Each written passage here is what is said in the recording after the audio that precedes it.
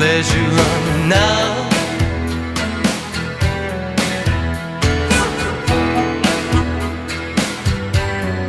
I could be happy.